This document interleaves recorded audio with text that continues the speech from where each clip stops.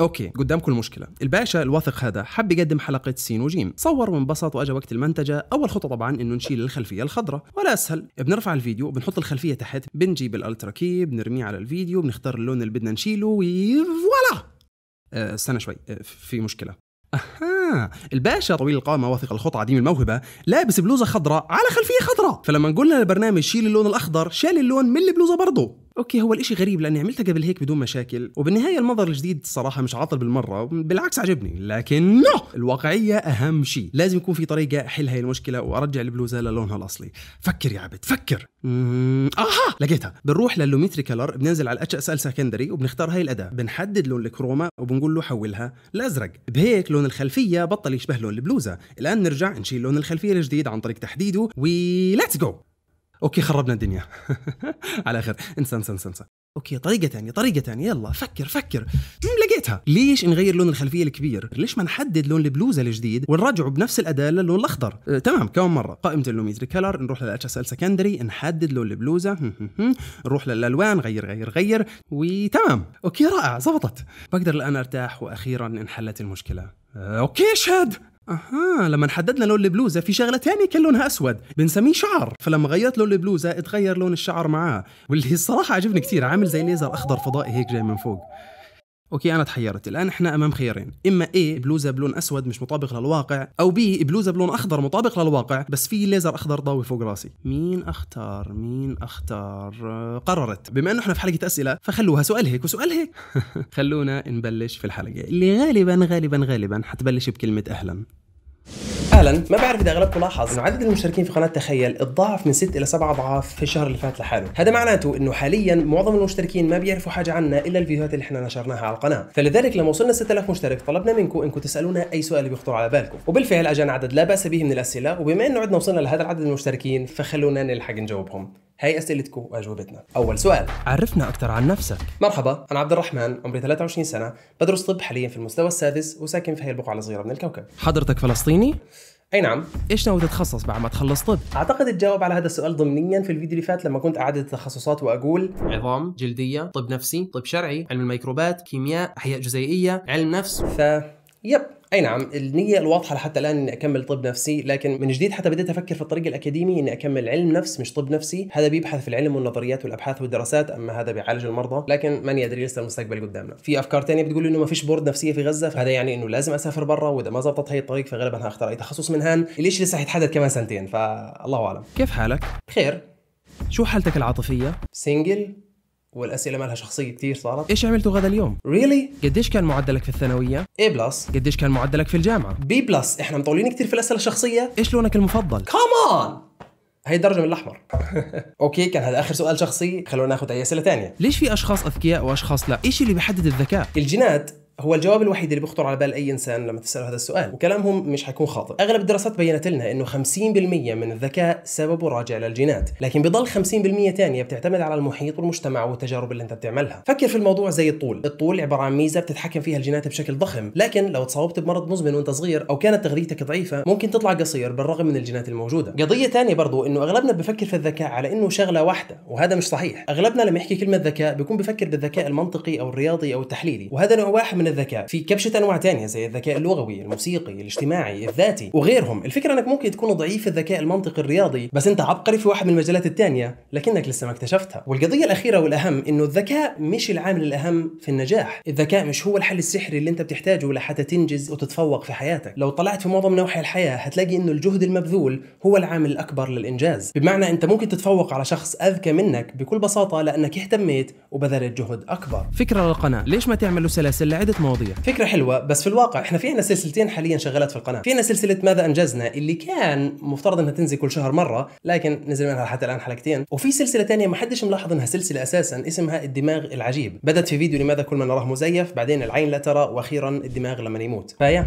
في سلاسل. هذول هم اللي شغالين لحتى الآن وإن شاء الله حنحاول نعمل سلاسل أحسن لقدام. إيش أفضل نصائح ممكن تقدمها لطلاب الطب الجدد؟ نصائح؟ مني هو بس أنا تو انتبهت إنه أنا عندي خلص الطب وقاعد بعطي نصائح للناس قاعدة بتبلش طب ف okay إذا في شغلة حابب إنها تصل لأي واحد في سنة أولى حاليا فهم نصيحتين. أول شيء لأنه الجامعة هي فترة الشباب وتعرف الإنسان على نفسه حاول إنك تطور مهارة خارج الطب نفسه سواء كانت تصميم ترجمة voice over قراءة أو أي شيء وإنك تشارك قد ما تقدر في النشاطات اللامنهجية زي النوادي الطلابية الفرق التطوعية المؤسسات وغيرهم. اولا لأنها بتعمل CV محترم وثانيا لأنها بتخليك تتعرف على ناس وثقافات ومجالات عمرك إيش كنت هتحلم فيها. النصيحة الثانية بشكل غريب ما تخلي هاي الشغلات كلها تلهيك عن الهدف الأساسي اللي أنت رايح للجامعة عشانه إنك تطلع طبيب ماهر. كثير منا في أول فصل أغلبنا كان طالع من الثانوية العامة وقال أخيرا سأكتشف نفسي وأفعل وأفعل وأغلبنا لبسها في امتحانات أول فصل. فاعرف كيف توازن ما بين هدول العالمين. النصيحة الثالثة والأهم ابعت هاي القناة لكل زملاتك.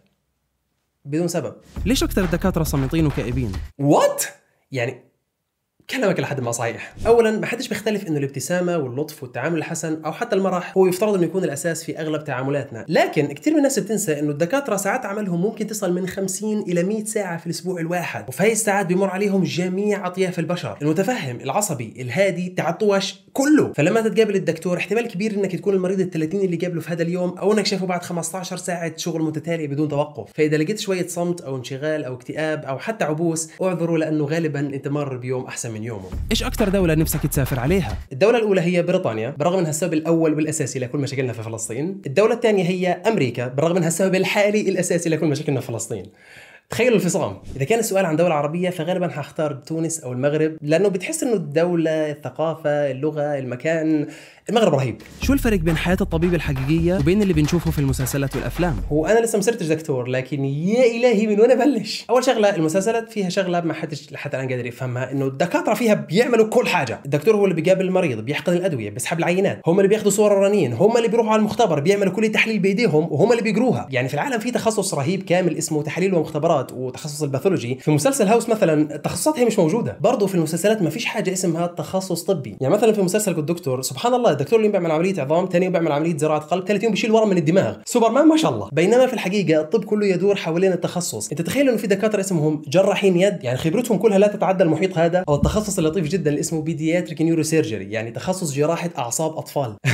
برضه شيء المسلسلات ما بتعترفش في حاجة اسمها ورقة وقلم. إذا ما بتعرفوا جزء كبير من عمل الدكتور عبارة عن شغل مكتبي كتابة التحويلات التقارير التشخيص التاريخ المرضي ومليون شغلة ثانية الفكرة في النهاية انه المسلسلات والأعمال السينمائية هدفها الأساسي هو الدراما والتشويق والإثارة. يعني أكيد كل الأمراض اللي حتيجي على المستشفى حتكون نادرة جدا وما بتشوفهاش إلا في العمر مرة. فالمسلسلات بتتشابه مع الواقع في أمور سطحية جدا لكنها بتختلف بشكل ضخم جدا عن الحقيقة. ومش صحيح ابدا إنك تبني نظرتك لهي المهنة أو شغفك بناء عليها. كتاب بتنصح نقرأه؟ اختيار الأول حيكون لكتاب We Have No Idea هذا الكتاب بيحكي عن الشغلات اللي حتى الآن إحنا ما بنعرفش حاجة عنها في الفيزياء وفي الفضاء. كتاب رهيب جدا لكن للأسف لحتى ما فيش منه نسخة عربية. الكتاب الرهيب الثاني اللي فيه منه نسخة عربية اسمه The Power of Habits أو قوة العادات. بيحكي بشكل علمي مفصل عن المفهوم القوي جدا اللي اسمه العادات. مش قصده العادات والتقاليد إنما العادات هي الشغلات اللي أنت بتعملها كل يوم وكيف الدماغ بيتصرف أثناءها وكيف أنت ممكن تستغلها لأنها تغير حياتك وتخلي يومك أكثر إفادة. كتاب رهيب بنصحكم تعطوه نظرة. عندك اهتمام بأنماط الشخصية ال MBTI وإذا آه إيش نمطك؟ أي نعم. للي ما بيعرف ال MBTI عبارة عن اختبار نفسي بتكون من عدة أسئلة اختيار متعدد. تسأل عدة أسئلة عن أفكارك وشخصيتك وتعاملك في عدة مواقف وفي النهاية تستنتج من أجوبتك إيش نوع شخصيتك وين انت مايل أكثر للإنعزالية ولا الإنبساطية. وفي عندك كبشة أنواع من الشخصيات المشرف المروج المعطي. المؤذي المدير التنفيذي المخترع المدرس الملهم المفتش الحرفي وباقي أنواع كتير. الان اذا أنت حسيت إنه في شوية بدايات العشوائية تاعت زمان وشوية ريحة علم زائف فإحساسك مش خاطئ بالمرة. بتاسف للي سالت السؤال لكن اختبار ال MBTI يصنف بشكل واضح على إنه علم زائف وغير مبني على اي أسس علمية رصينة. الاختبار هذا طلع بعد الحرب العالمية الثانية ومن أيامها تم توجيه له عدة انتقادات لاذعة. انتقادات زي عدم الدقة مشاكل في القياس عدم وجود أدلة علمية كافية والأهم التبسيط المش منطقي. اللطيف لو فتحت صفحة ويكيبيديا اللي بتعرف عنه ثالث سطر موجود إنه يعتبر pseudoscience يعني علم زائف. ده في شغلة تعلمناها من علم الأعصاب علم الإنسان وعلم الاجتماع إنه الإنسان والشخصية البشرية هي عبارة عن كيان معقد بشكل لا يمكن وصفه وإنك تدعي إنك قادر تحصرها في عدد شخصيات معين وواضح يعد ضرب من الخيال. مثلا في الاختبار التقسيمة الأولى بيقسم البشر لنوعين إما انعزالي انطوائي أو انبساطي خارجي. لكن في الواقع التقسيمة هي مش أبيض أو أسود. هي فعليا عاملة زي درج من واحد لعشرة والناس بتتدرج ما بينهم. مش واحد أو صفر. فأنا آسف على الخبر كمان مرة لكن هذا اللي بيتفقوا عليه علماء النفس. هذا سؤال رهيب جدا. هل هل مريض حبسة فيرنكس بيعرف إنه مريض وعلى أي أساس بيبني الردود اللي بيردها. حبسة فيرنكس زي ما قلنا في الحلقة اللي فاتت هو المريض اللي ماتت عنده المنطقة اللي بتحلل الكلام اللي بيسمعه. فبصير هو يسمع الكلام كويس لكن ما بيفهمش منه أي حاجة وبصير يرد بأي كلام عشوائي. هل هذا المصاب بيعرف إنه مريض؟ أي نعم بيعرف. بالضبط. شايفين الثقة اللي في الإجابة؟ نفس الثقة اللي خلته يلبس أخضر على خلفية خضراء. okay لما جاوبت هذا السؤال كانت إجابتي مبنية على الاستنتاج البديهي ودراستي السابقة للمرض. لكن لما رجعت بحثت في الموضوع تبين إنه المريض في معظم الأحيان بيكونش عارف إنه مريض. بيكونش عارف بالنقص الشديد اللي عنده في فهم اللغة وتحدثها مهما كان هذا النقص عميق. وركز على كلمة معظم الأحيان لأنه بعضهم بالتدريب والتواصل بيعرف هذه المعلومة بعد فترة. طب الآن كيف هو بيتكلم على إيش بيبني هذا الردود؟ الإجابة بكلمة واحدة المحاولة والتخمين. تخيل إنك في دولة أجنبية وأجا واحد ما بتفهم لغته وحاول إنه يحكي معك ويوصل لك فكرة معينة. أنت مش حتكون فاهم حاجة من لغته لكن من الحركات والمكان وتعبيرات الوجه ممكن تخمن عن شو هو بيحكي وتجاوب على هذا الأساس. وزي ما أنت متوقع غالبا حتجيب العيد ومش حتفهم حاجة. وهذا اللي بيصير مع مريضنا. هو بيحاول يستخدم الأعصاب الخفيفة اللي ضايلة عايشة وبيحاول يستنتج عن إيش أنت بتحكي. وعلى أساسها بيبني الرد. وزي ما شفنا في الفيديو اللي فات بيجمع الشرق مع الغرب. أوكي نرجع الآن للحلقة. وزي ما قلنا المشكلة دائما في الثقة. راح تكمل القناة مستقبلا ولا حتوقف؟ آه حنكمل. ما دمت حيا. كيف ممكن ألاقي هدفي؟ ووهو. سؤال صعب. أنا حفترض إنك بتسأل عن الشغف أو الشغلة اللي أنت حابب إنك تعملها لحد ما تموت. هذا كثير بيشبه لما الطلاب يخلصوا الثانوية العامة والأهالي يقولوا لهم ادخل اللي أنت مهتم فيه ادخل التخصص اللي أنت بتحبه اتبع شغفك. والطالب حينيتها بيستنتج أنا ما عنديش شغف أنا ما بعرفش أنا في إيش مهتم. وهان في وجهة نظر حتمية في الموضوع بتقول لك it doesn't matter. في فيديو لطيف ناقش الموضوع هذا بشكل مفصل من الكاتب أمجد جنباز بيوضح كيف إنه نصيحة اتبع شغفك مش أفضل نصيحة أنت ممكن تتبعها وكيف أوقات بتكون كارثية وآثارها غير مثمرة. حتلاقوا الفيديو تحت. لكن لأي شخص تاني بغض النظر عن هذا الكلام لساته بدور على مجال هو مهتم فيه على هدف يتوق له على شغلة يسعد بعملها كل يوم. نصيحتي بكل بساطة مش هيعرف الإنسان إيش الشغلات اللي هو مهتم فيها إلا لما يجرب أكبر عدد من الشغلات. يعني مثلا في الطب عندنا بيجربوك في ست سنين كل التخصصات الممكنة لحتى تمارس كل تخصص لحاله وفي الأخير تكتشف إيش الشغلة اللي أنت بدك إياها. يعني مثلا إيش اللي ممكن يخلي طالب يهتم في ال hematology في علم الدم؟ يعني أنت طلع على الاسم من بعيد مش هتشوف أي شغلة مثيرة في الموضوع. لكن لما الطالب درس هذا المجال ومارسه لقى إنه في شغلات ممتعة جدا لقى إنه طرق التشخيص والعلاج لذيذة فحبه وإهتم فيه. فأنت طبق نفس هي القاعدة على الاهتمامات المختلفة في الحياة. اطلع من منطقة الراحة تاعتك وجرب شغلة جديدة كل يوم. افتح فيديوهات يوتيوب بتحكي عن مواضيع انت مش متخيل انك ممكن تكون مهتم فيها. اعمل نفس الشغلة في المقالات في الجمعيات والمؤسسات في الأنشطة في الأصدقاء. جرب واتفصل في شغلات غريبة كل يوم لحد ما تصل في النهاية للمنطقه اللي انت مرتاح فيها. معظم فيديوهاتك بتحكي عن الطب. اعمل لنا فيديو عن الفضاء. okay حاضر. الحلقة اللي بعد الجاية إن شاء الله حتكون على الفضاء. وهذا كان آخر سؤال من الأسئلة الجميلة اللي بعثوا لنا إياها في حلقة وصولنا ل 20000 مشترك. شكرا كمان مرة لكل واحد شاهد وعلق وشارك واشترك وبعث لنا أسئلة واللي ما جاوب على أسئلتهم الحلقة هاي استنونا في حلقة الأسئلة الجاية لما نصل 50000 مشترك أو أي رقم جنبه ثلاث اصفار okay. bye.